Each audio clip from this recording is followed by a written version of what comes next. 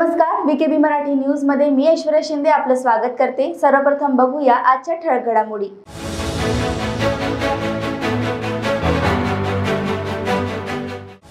एकनाथ शिंदेकडून कायद्याची भाषा सांगत शिवसेनेला रोकटोक उत्तर. आपल्या ट्विटमध्ये रोकटोक भाषेत शिवसेनेलाच दिले प्रत्युत्तर.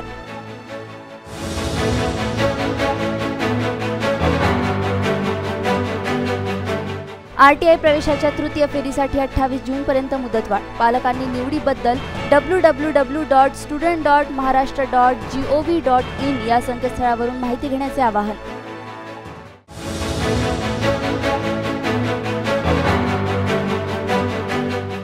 आणि महाविकास आघाडीतील तीनही पक्ष एकसंघ आहेत. ही आता कायदेशीर लढाई आहे. सर्वोच्च न्यायालयाचे निकाल काय म्हणतात ते पाहूया. संजय राऊत यांची प्रतिक्रिया.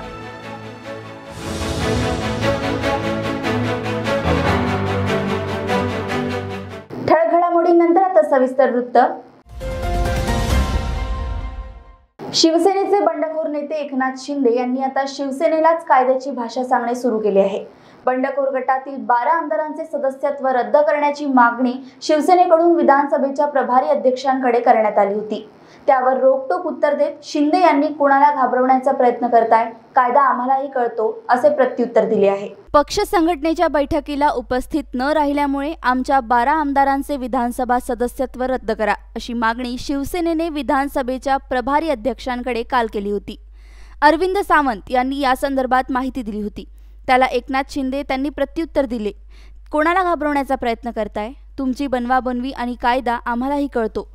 घटनेच्या दहाव्या परिशिष्टाप्रमाणे व्हीप हा विधानसभा कामकाजासाठी असतो बैठकीसाठी नाही. या संदर्भात सुप्रीम कोर्टाचे असंख्य निकाल आहेत त्यामुळे असल्या धमक्यांना भीक घालत नाही. तुम्ही संख्या नसताना अवैध गट तयार केला म्हणून तुमच्यावरच कारवाईची आमची मागणी आहे. बारा आमदारांविरोधात कारवाईसाठी अर्ज करून तुम्ही आम्हाला अजिबात घाबरवू शकत नाही कारण आम्हीच वंदनीय शिवसेना प्रमुख बाळासाहेब ठाकरे यांची खरी शिवसेना आणि शिवसैनिक आहोत अशी रोकटोक भाषा एकनाथ शिंदे यांनी आपल्या ट्विटमध्ये केली आहे. समाजात नवनवीन घटना घडत असतात आणि त्या पोलीस ठाण्यापर्यंतही जात असतात. बुलढाणा जिल्ह्यातील खामगाव शहरात अशीच एक अजब घटना घडली आहे. खामगाव शहरातील विश्वासराव देशमुख आणि त्यांचे मित्र सनी पॅलेस या चित्रपटगृहात सायंकाळी सहा ते रात्री नऊ हंबीरराव हा चित्रपट पाहण्यासाठी गेले. त्यांनी तिकीट काढले. मात्र बराच वेळ जाऊनही दोन तिकिटांव्यतिरिक्त चित्रपट पाहायला प्रेक्षक नसल्याने वेळेवर हा शो रद्द करण्यात आला. परंतु हे दोघेही प्रेक्षक पेशाने वकील असल्याने आम्हाला आधी या संदर्भात कल्पना का दिली नाही असे सांगत युक्तिवाद करायला सुरुवात केली.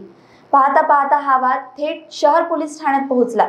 आणि चक्क प्रेक्षकांचे ग्राहकांचे अधिकार सांगत वकील महोदयांनी थेट तक्रारच दाखल केली आहे. आणि या चित्रपटगृहाच्या संचालकांवर कारवाई करण्याची मागणी केली आहे. या प्रकरणाची शहरात चर्चा होते. मी ॲडव्होकेट आर बी टाले राजेश टाले सिव्हिल लाईन खामगाव तसेच माझे ज्येष्ठ सहकारी व्ही वाय देशमुख दोघे आणि माझी सत्र न्यायालयाचे सरकारी वकील. आज आमची कोर्टामध्ये भेट झाली. त्याप्रमाणे आम्हाला सनी पॅलेस येथील चित्रपट अंबिराव हा पाहण्याचे ठरले. त्यावरून आम्ही सहा वाजता चित्रपटगृहात जाऊन गेलो चित्रपटगृहात. तिथे दोन तिकीटं काढले बाल्कनीचे. त्यानंतर आम्हाला अंदाजे पावणे सात वाजता सांगण्यात आले की चित्रपट दाखवता येत नाही कारण की तेवढी पब्लिक जमलेली नाही. म्हणून आम्हाला परत केले व आम्हाला तिकिटाचे पैसे परत घेण्याचे सांगितले. परंतु आम्ही ते न करता कारण की हक्काप्रमाणे त्यांनी आम्हाला चित्रपट दाखवायला पाहिजे. म्हणून आम्ही दोघंही विवाह देशमुखांनी शहर प्रदेशातून रिपोर्ट दाखल केला. त्यामुळे त्यांना अपेक्षा आहे की या वर्तमानपत्रातून त्यांच्यावर कारवाई करण्यात येईल. जे गेले त्यांचा विचार करू नका. ताकदीनं लढा. असा कानमंत्र मुंबईतील विभाग प्रमुखांना पक्षप्रमुख आणि मुख्यमंत्री उद्धव ठाकरे यांनी दिलाय. दरम्यान मातोश्रीवर बैठकींचा सिलसिला सुरू झालाय. आज राज्यातील जिल्हा प्रमुख संपर्क प्रमुखांची बैठक मातोश्रीवर होत आहे. एकनाथ शिंदेंच्या बंडानंतर शिवसेनेला मोठा हादरा बसलाय. उद्धव ठाकरे यांनी आपला मुक्काम वर्षावरून पुन्हा मातोश्रीवर हलवल्यानंतर शिवसैनिक मातोश्रीवर येत आहेत. दरम्यान काल रात्री मातोश्री बाहेर आलेल्या शिवसैनिकांची आदित्य ठाकरेंनी भेट घेतली आणि भर पावसात त्यांच्यासोबत चर्चा केली. शिवसेनेच्या राज्यातील जिल्हाप्रमुख संपर्क प्रमुखांची आज मुंबईत बैठक होत आहे. काही मोजके अपवाद वगळता संपूर्ण संघटना उद्धव ठाकरे यांच्या पाठीशी आहेत. बहुतेक जिल्हाप्रमुख आजच्या बैठकीला हजर राहणार आहेत तर ठाण्यातील तीन जिल्हाप्रमुखांच्या उपस्थितीबाबत मात्र सस्पेन्स कायम आहे. अजून निरोप आला नसल्याचं ठाण्यातील जिल्हाप्रमुखांचं स्पष्टीकरण आहे. रायगडमधील चारपैकी एका जिल्हाप्रमुखाने दांडी मारली आहे तर धुळ्यातील आमदार मंजुळा गावित यांचे पती जिल्हाप्रमुख तुळशीराम गावितही बैठकीला दांडी मारणार असल्याचे समजत आहे. आरटीआय प्रवेशाच्या तृतीय फेरीसाठी अठ्ठावीस जूनपर्यंत मुदतवाढ देण्यात आली आहे. पालकांना एस एम एस पाठवण्यात आले आहेत. पालकांनी निवडीबद्दल W W W dot student dot Maharashtra dot G O V dot in या संकेतस्थळावरून माहिती घ्यावी. चालू शैक्षणिक वर्षाच्या शिक्षण हक्क अधिनियमानुसार दुर्बल व वंचित घटकासाठी पंचवीस टक्के ऑनलाईन प्रवेश प्रक्रियेअंतर्गत तृतीय फेरीच्या प्रतीक्षा यादीतील पात्र बालिकांसाठी प्रवेश प्रक्रिया दहा ते एकवीस जुलैपर्यंत मुदत देण्यात आली होती. शिक्षण संचालकांनी या प्रवेश प्रक्रियेसाठी अठ्ठावीस जूनपर्यंत मुदतवाढ दिली आहे. निवड झाल्याबाबत पालकांचे मोबाईलवर एस एम एस पाठवण्यात आले आहेत. पालकांनी आपल्या पाल्याची निवड झाली अथवा नाही याबाबत W W W dot student dot Maharashtra dot G O V dot in या संकेतस्थळावर आर टी आय पोर्टलला अप्लिकेशन वाईज डिटेल ही सुविधा उपलब्ध आहे. पालकांनी या सुविधेचा वापर करावा. प्रवेश घेण्यासाठी अलॉटमेंट लेटरची प्रिंट आणि आवश्यक कागदपत्रे घेऊन तालुका पडताळणी केंद्रावर जावे आणि आपला प्रवेश निश्चित करावा व प्रवेश निश्चित झाल्याची रिसिप्ट घ्यावी. चालू शैक्षणिक वर्षाच्या शिक्षण हक्क अधिनियमानुसार दुर्बल व वंचित घटकासाठी पंचवीस टक्के ऑनलाईन प्रवेश प्रक्रियेअंतर्गत तृतीय फेरीच्या प्रतीक्षा यादीतील प्रवेश पात्र बालकांसाठी प्रवेश प्रक्रियेबाबत शाळा पालक व सामाजिक संस्था यांनी दखल घ्यावी असे आवाहन शिक्षणाधिकारी प्राथमिक रोहिणी कुंभार यांनी केले आहे. वेळ झाली आहे एका छोट्याशा विश्रांतीची? भेटूया विश्रांतीनंतर. बाय सब जानना चाहते हैं। मेरा फेवरेट कलर मेरा फेवरेट डेस्टिनेशन मेरी फेवरेट डिश पर कोई ये नहीं पूछता कि फेवरेट डिश मैं बनाती कैसे हूँ। अरे यार जिसे टेस्टी खाना पसंद है वो अच्छे टेस्ट तक पहुँच ही जाता है। सुरुचि मसाले। खाने में हो रुचि तो घर लाइए सुरुचि। अपने सपनों की उड़ान भरने की इच्छा तो हर किसी की होती है। पर पंख भी तो मज़बूत होने चाहिए। जो देता है Flywheel aviation academy Flywheel aviation academy एक ऐसा इंस्टीट्यूट है जहाँ पर एयरलाइंस एंड एयरपोर्ट हॉस्पिटैलिटी और टूरिज़्म मैनेजमेंट साथ ही यहाँ campus interview guidance by industry expert practical training at airport expert faculty personal grooming जैसे कई सारे बेनिफिट्स आप पा सकते हैं। Flywheel aviation academy one degree three job opportunities Flywheel aviation academy gives you a degree और diploma with a job Flywheel aviation academy 365 Gandhinagar LAD college square beside Karnataka bank Nagpur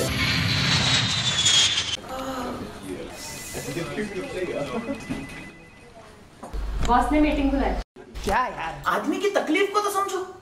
बाहर बाहर उठो बैठो उठो बैठो। जनाब तकलीफ उठने बैठने की नहीं। तकलीफ़ बवासीर की है। बवासीर फिशर, भगंदर, पाइलोनियल साइंस का आयुर्वेद तथा आधुनिक लेजर से उपचार। अभ्युदय पाइल्स लेजर हॉस्पिटल, लोहार समाज भवन के पीछे महापुष्प सोसाइटी, शताब्दी नगर चौक से मनीष नगर रोड, नागपुर। कॉल और विज़िट करें www.pilesfistulacure.com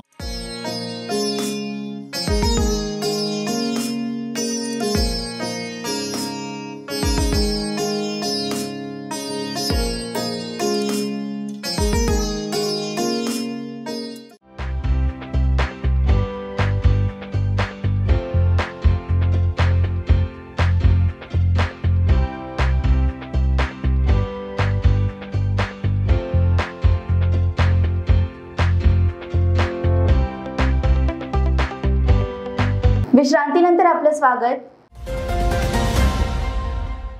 एकनाथ शिंदे यांनी बंड केल्यानंतर शिवसेनेचे अनेक आमदार शिंदे गटात दाखल झाले आहेत.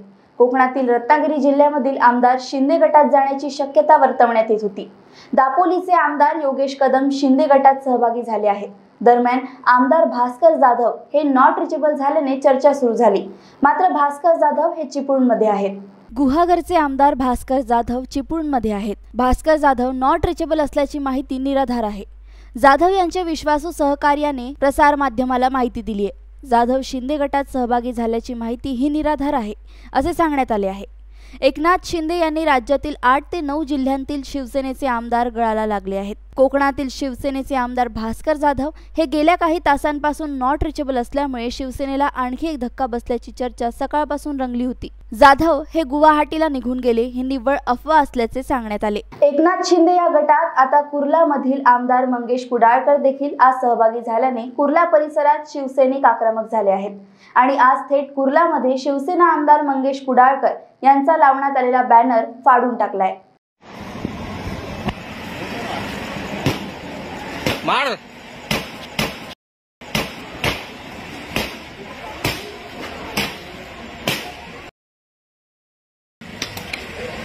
अरे घसीट ना उसको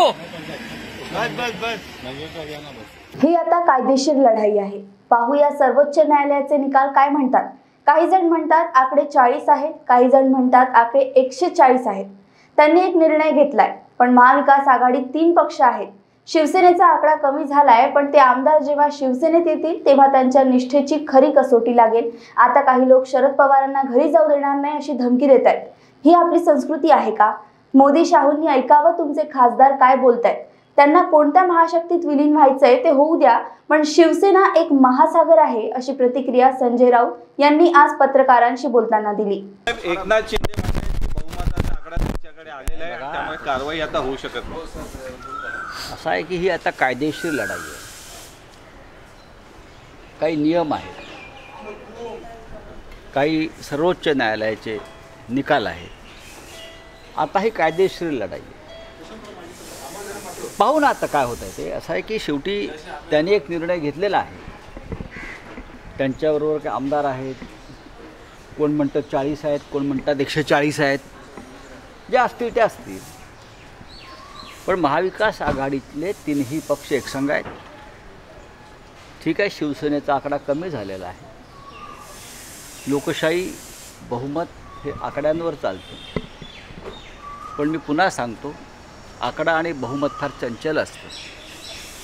ज्या दिवशी हे आमदार इथे मुंबईत येतील त्यानंतर त्यांच्या निष्ठेची बाळासाहेबांवरील भक्तीची आणि शिवसेनेवरील श्रद्धेची खरी कसोटी लागेल. आम्हाला पूर्ण विश्वास आहे की सभागृहामध्ये जेव्हा हा विषय येईल तेव्हा महाविकास आघाडीच्या बाजूनं आमदारांचा कौल असेल. आता लोक धमक्या देतात ती सुद्धा माननीय शरद पवार साहेबांना धमकी देण्यापर्यंत काही लोकांचा माज वाढलेला आहे. या लोकांनी पूर्वी बाळासाहेब ठाकरे उद्धव ठाकरे आम्हाला सगळ्यांना धमक्या दिलेल्या आहे देऊ द्या ना काही हरकत नाही. ती याची त्याची संस्कृती आहे. पण ही भाजपची संस्कृती आहे का? असा मी प्रश्न विचारला की शरद पवार साहेबांना घरी जाऊ देणार नाही असा धमकी जर कोणी देणाऱ्या महाराष्ट्रात असेल तर त्याचा विचार प्रधानमंत्री मोदी आणि केंद्रीय गृहमंत्री अमित शहा यांना करावा लागेल. या देशात लोकशाही आहे. या देशामध्ये स्वातंत्र्य आहे. शरद पवारांसारखे नेते ज्यांचा आदर प्रधानमंत्री मोदीजी करतात जगभरात केला जातो जे महाराष्ट्राचे सुपुत्र आहेत अशा नेत्याविषयी फक्त सत्ता मिळवायची आहे चोरीच्या मार्गानं. म्हणून अशा धमक्या देणं आम्हाला त्या धमक्या ठीक आहे आम्ही करू आम्ही समर्थ आहोत. पण त्यांच्या वयाचा त्यांचा अनुभवाचा त्यांच्या तपस्येचा जर तुम्हाला आदर नसेल तर मला असं वाटतं आपण मराठी म्हणून घ्यायला नालायक आहोत. महाशक्ती आपल्याला काही कमी चांगली गोष्ट बघा. ते कोणत्याही महाशक्तीत विलीन व्हायचं किंवा काय हा त्यांचा प्रश्न आहे. पण शिवसेना हा एक महासागर हा महासागर काय मुसळलेला असतो. महासागर कधी आटत नाही. लाटा येतात लाटा जातात. ही सुद्धा लाट जी आहे निघून जाईल. पण जे गेले त्यांना पश्चाताप होईल. भारतीय डाक विभागामार्फत सुकन्या समृद्धी योजना राबवण्यात येते. त्या अनुषंगाने मुलींच्या सक्षमीकरणासाठी सत्तावीस ते एकोणतीस जून दरम्यान सप्ताहाचे आयोजन करण्यात आले आहे. यामध्ये बालिका शिष्यवृत्ती घर मोहीम अंतर्गत दहा वर्षांखालील मुलींचे दोनशे पन्नास रुपये मध्ये खाते काढले जाणार आहे. यामध्ये एका परिवारातील दोन मुलींनाच खाते काढता येऊन असून दोनशे पन्नास ते एक लाख पन्नास हजार रुपयेपर्यंत खात्यांमध्ये पैसे जमा करता येणार आहेत. मुलींच्या अठराव्या वर्षी शिक्षण किंवा लग्नासाठी ही रक्कम काढता येणार असल्याचे अधिकाऱ्यांनी सांगितले आहे. त्यामुळे तीन दिवस होणाऱ्या या सप्ताहाचा जिल्ह्यातील पालकांनी लाभ घ्यावा असे आवाहन करण्यात आले आहे. मी गणेश आंबोरे सहाय्यक अधीक्षक डाकघर बुलढाणा विभाग बुलढाणा. सुकन्या समृद्धी योजना ही डाक विभागामार्फत स्कीम आहे. यामध्ये बुलढाणा डाक विभाग डाकघर बालिका सशक्तीकरण मोहीम बुलढाणा डाक विभाग सत्तावीस सहा दोन हजार बावीस ते एकोणतीस सहा दोन हजार बावीस या कालावधीत मुलीचे सक्षमीकरण सप्ताहाचे आयोजन करत आहे. तर या खात्याचे वैशिष्ट्य असे आहेत की दोनशे पन्नास रुपये भरून आपण हे खाते उघडू शकता. दहा वर्षाखालील सर्व मुलीचे आईवडील पालक हे खाते उघडू शकता. एका परिवारामध्ये केवळ दोन मुलीचे नावे हे खाते उघडले जाऊ शकते. एका वर्षात कमीत कमी दोनशे पन्नास रुपये व जास्तीत जास्त एक लाख पन्नास रुपये या खात्यामध्ये जमा करू शकतात. याची परिपक्वता जे वर्ष आहे ते एकवीस वर्षापर्यंत आहे. मुलीच्या वयाच्या अठरा वर्षानंतर शिक्षण किंवा लग्नाकरिता पन्नास टक्के रक्कम काढू शकता. या खात्याला सर्वाधिक व्याजदर सात पॉईंट सहा आहे. अशी मी बुलढाणाकर आणि बुलढाणा जिल्ह्यातल्या सर्व जे पालक आहेत की ज्यांच्या मुली झिरो ते दहा वर्ष वयागटातल्या आहेत त्या सर्व पालकांना मी विनंती करतो की आपण या योजनेचा भाग सहभाग घ्यावा आणि जास्तीत जास्त अकाउंट ओपन करण्यासाठी डाक विभागाला सहकार्य करावे. तर व्हीकेबी मराठी न्यूजमध्ये एवढंच. पुन्हा भेटूया काही नवीन घडामोडींसह. बघत राहा व्हीकेबी न्यूज नमस्कार.